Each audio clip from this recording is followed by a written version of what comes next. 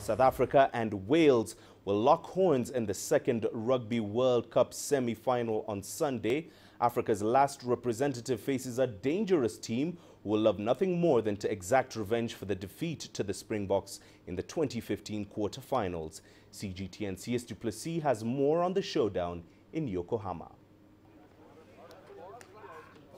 All eyes will be on the International Stadium in Yokohama when two powerhouses of World Rugby clash in a do-or-die World Cup contest.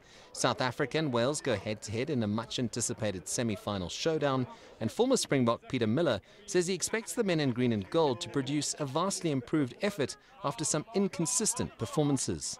The Springbok uh, campaign so far, I think, has been uh, a bit of a, a positive and a negative. Um, I think, you know, we had some good games and bad games, but we got through you know, the first round, you know, we had the quarterfinals, we won the quarterfinals. Um, but again, you know, we haven't played to our potential. Uh, you know, hopefully by this weekend in a semi-final, we'll actually step up to the mark.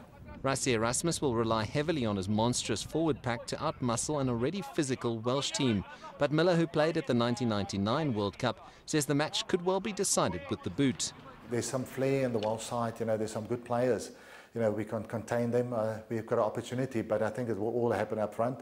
You know, with the forwards, you know, we have to dominate there. If we can dominate them there, I think we can, we can actually have the, hopefully a win over them and a very tight one, I think. Despite the Springboks winning 28 of the previous 35 meetings since 1906, the men in green and gold go into the encounter as slight underdogs against Warren Gatland's determined Dragons. But the 33-cap veteran believes the Boks can prevail on the day. The Welsh has always been a factor, you know, uh, the last couple of years. Um, I think you know, South Africa had a couple of, you know, end-of-year tours. You know, guys have been tired.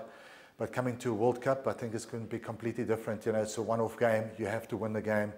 Um, and I think, you know, South Africa can step up and can, and can beat the, the Welsh on, on Sunday.